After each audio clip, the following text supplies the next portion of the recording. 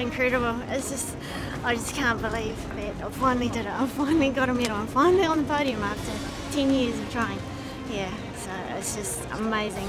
I'm quite often in the write-off for bronze, but I never quite get there. And when I saw her, I could see her in my sights about a lap and a half to go, and I thought, oh my god, I can do this. This is mine. This is my moment.